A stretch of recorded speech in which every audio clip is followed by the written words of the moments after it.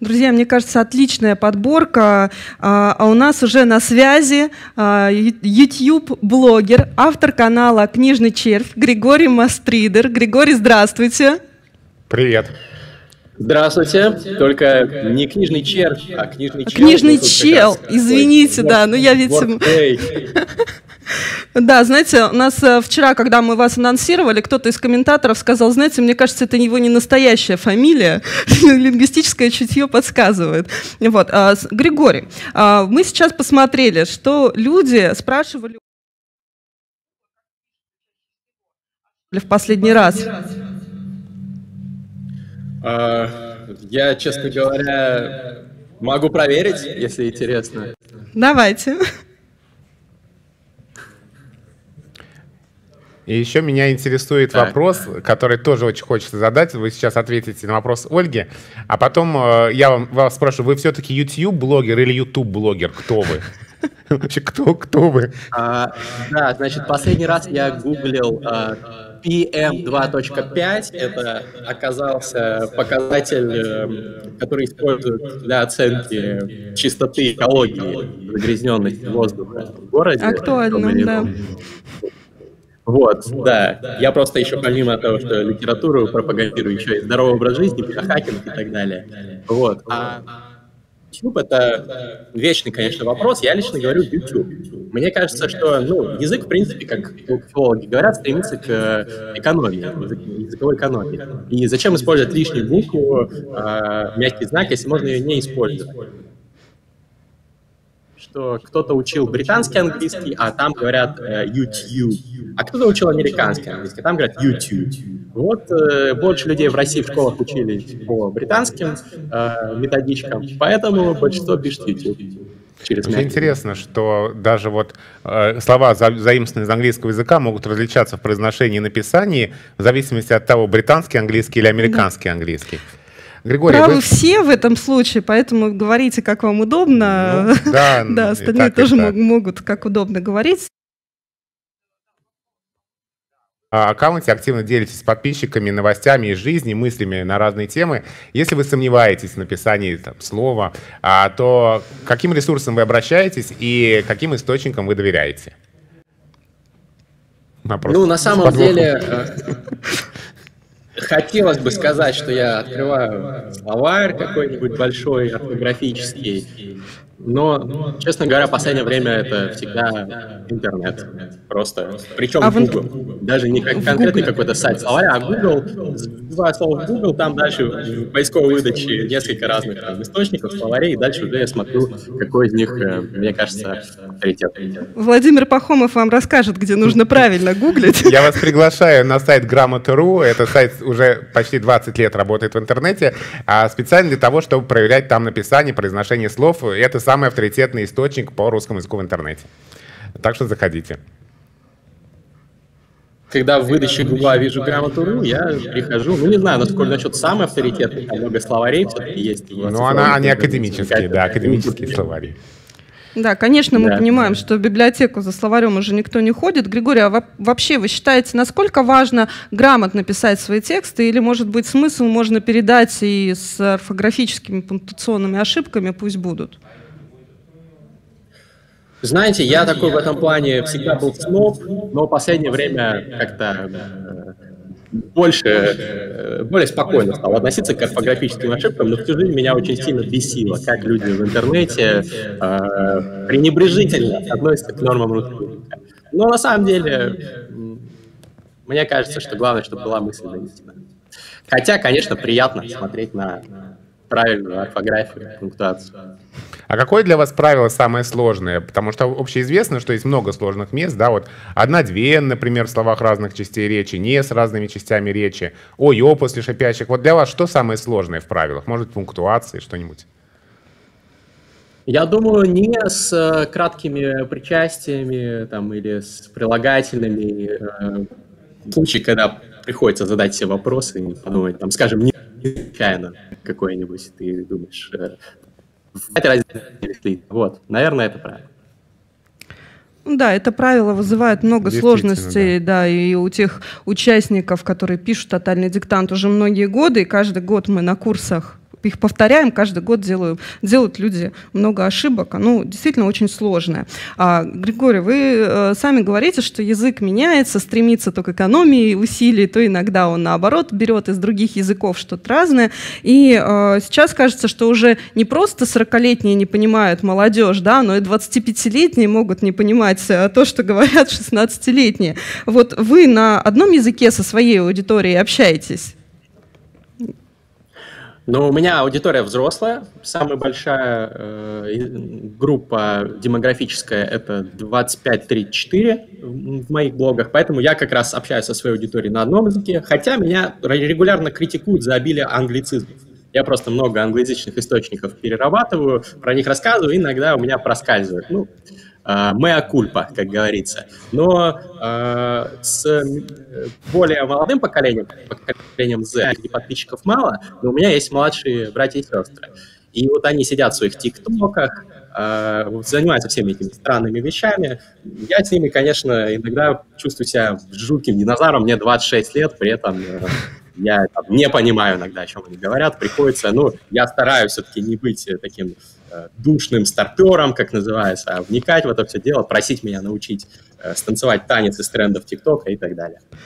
Вот, Григорий, мы сегодня в поколении старше вас, но хотим вам провести такую игру, испытание, чтобы научить вас разговаривать на одном языке с вашими а, младшими а, братьями и сестрами. Надеемся, у вас получится. Я напоминаю нашим зрителям, что можно Григорию задавать вопросы. За интересные вопросы мы а, дарим словарь языка интернета.ру а, и а, про игру. Готовы к игре? Давайте. Готов? Давайте, начнем. Я буду читать э, наз... э, перефразированное языком молодежи литературное произведение, вам нужно будет его угадать. Мне кажется, вам будет совсем несложно это сделать. Начинаем. Чувак страдает от недостатка кэша и решается на преступление, но после этого у него начинаются траблы с менталкой. Преступление наказания? Правильно, да. Правильно. А, следующая задачка. Пожилая child-free пара пытается добиться от домашнего питомца, что похавать, но их ждет необычный квест и неожиданная пасхалка в конце.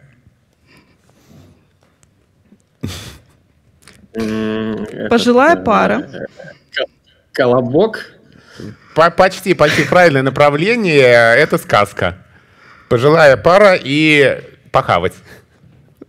А, курочка ряба. Правильно. Точно. Пасхалочка да. в конце должна была здесь да, решить. Да, да. А, еще один, а, одно испытание, еще один сюжет. Молодой хипстер приезжает в деревню, прокрастинирует и становится краше одно, крашем одной тян, которая катает ему лангрит о своих чувствах. Он, его, он ее сливает, но годами позже понимает, что сам вкрашился в нее. Приезжая к ней на рейф, он признается в любви, но теперь она уже его сливает. Ну, кстати, прекрасное слово «крах», мне кажется, русский язык обогащен уже далеко и надолго. Это Евгений Онегин, конечно же. Конечно. Конечно. И, пожалуй, последнее. Девушку абьюзит семья ее мужа, супруг забивает на ее истерики и тревоги, а лучшая подруга чилит с другими кунами.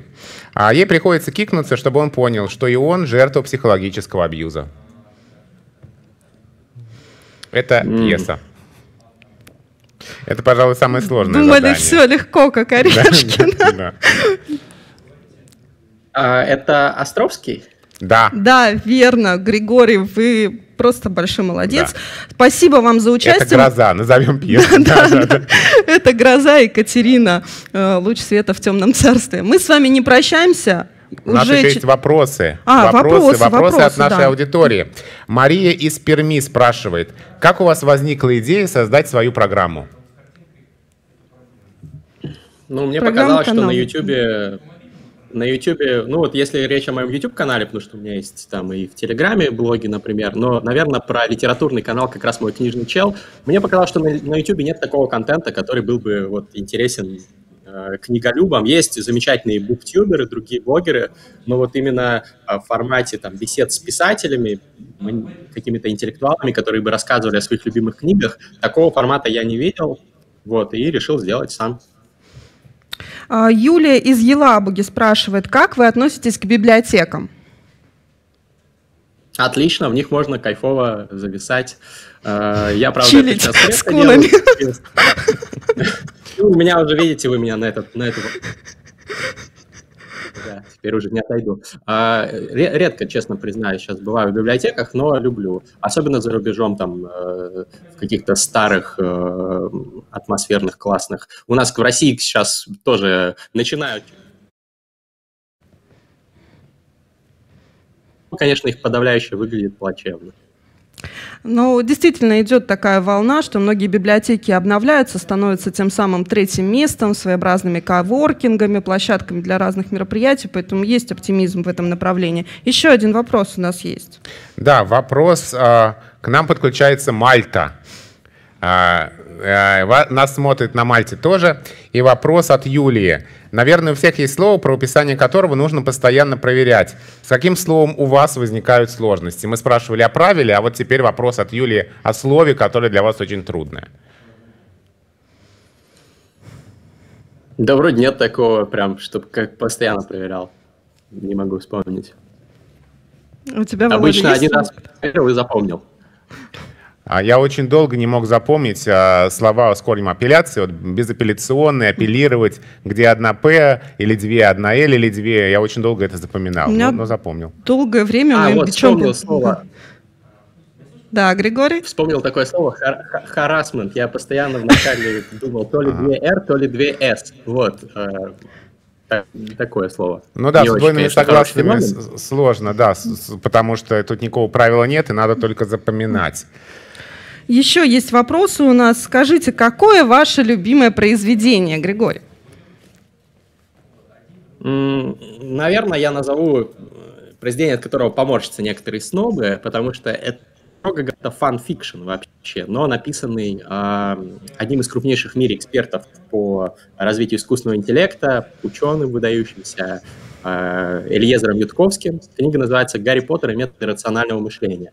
Он взял мир Джоан Кэтлин Роулинг, известный многим, и а, в нем создал а, историю о Гарри Поттере, который э, вырос в семье ученых и стал применять метод рационального мышления для познания магического мира. И помимо того, что это блестящее с художественной точки зрения произведение, вот у меня э, были многие писатели в э, моем книжном челе в шоу, которые тоже советовали это с точки зрения художественной литературы. Помимо этого, это очень влиятельная книга с точки зрения пропаганды идеи рационального мышления.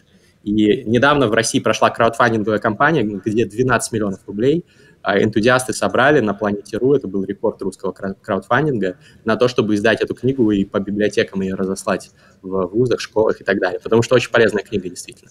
Так что вот номер один такой выбор. Слушайте, очень здорово. Вот у нас э, как раз вы говорили о ваших гостях, э, заикнулись, э, спрашивают, какой из ваших гостей вашего канала был вам наиболее интересен? Почему? Расскажите нам. А, ну, очень много. Я не, не выделил кого-то одного, но очень, очень сильно мне э, хотелось, и очень рад я был, когда с э, Урицкой удалось сделать выпуск, а, с Быковым, хотя с ним такой неоднозначный у меня выпуск получился. А, э, прекрасный собеседник, э, очень, очень, очень здорово было с ним. Знаете, ну, не всегда я согласен со своими собеседниками, но все равно это хорошие выпуски, на мой взгляд, например, прилепят. У нас с ним какие-то политические жесткие были споры, но э, в целом собеседник э, классный, Глуховский, Ася Казанцева. Вот. Но, наверное, мой любимый э, гость в моей передаче – это Александр Форсайт. Он не так известен, к сожалению, пока что. Это молодой э, музыкант, э, театральный режиссер, и писатель начинающий, но блестящий, энциклопедически образованный молодой человек, и вот он у меня постоянный гость моей передачи. Если не слышали, загуглите Александр Фарсайт. Хорошо, обязательно. Посмотрим. А Татьяна из Уфы спрашивает, как вы относитесь к сокращениям? Татьяна не уточнила, сокращением слов или, может быть, сокращением книг, Бюджетов. произведений, бю- бюджетов, да. Поэтому, ну, на всякий случай расскажите про все. А, сокращение слов, ну, нормально, особенно в интернете, Норм. да. Норм. Э, Сокращение книг, э, имеется в виду, видимо, summary, э, так называемые, э, тоже норм.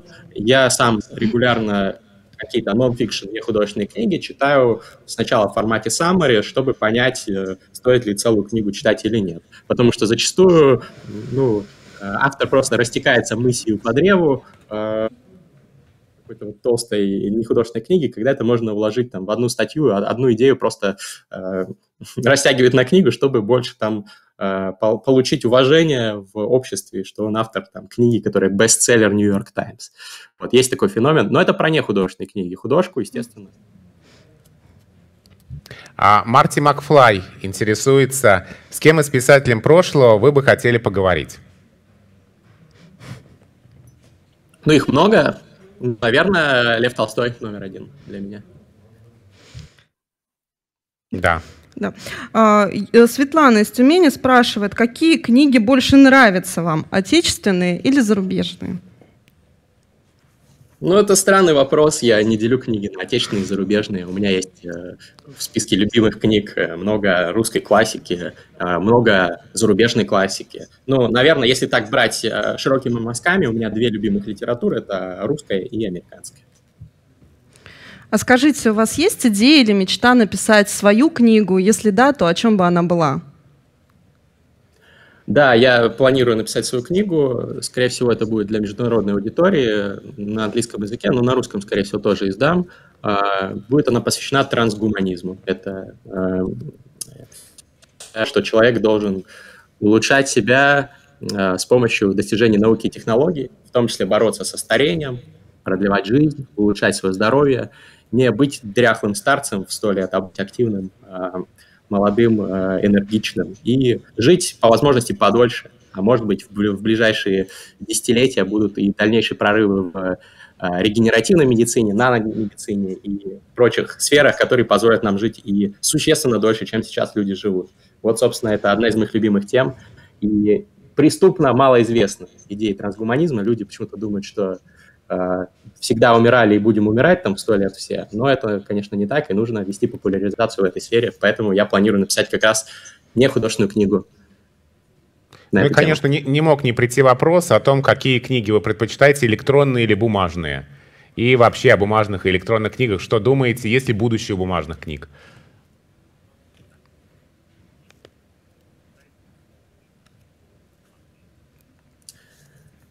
У вас э, заживала последняя часть вопроса, можете повторить, пожалуйста? А есть ли будущее бумажных книг, и какие вообще книги вы предпочитаете, бумажные или электронные?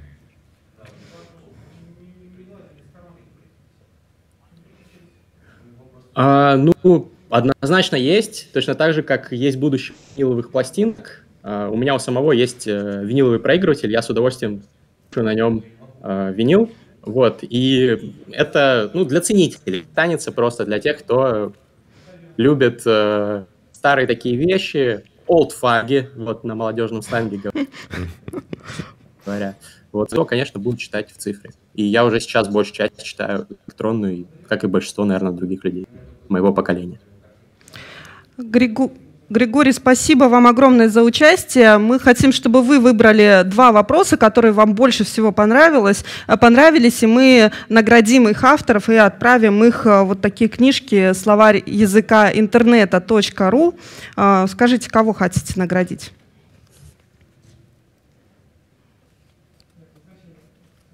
Григорий. Григорий, вы с нами?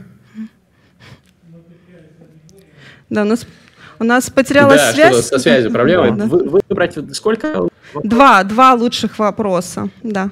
Два вопроса, да. Хм, ну давайте, давайте вопрос по мертвого писателя. Вот. Писатель прошлого. Про, про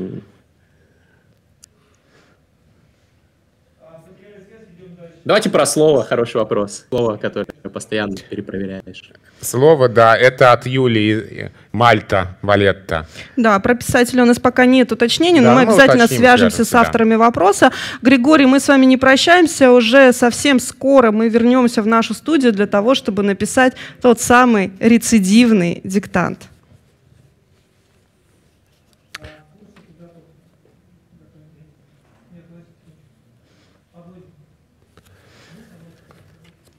Э, диктант у нас в этот раз рецидивный, в прошлый раз был фантомный, те, кто смотрели наш э, марафон. Поэтому оставайтесь с нами. Совсем скоро Дина Рубина в онлайн-марафоне тотального диктанта.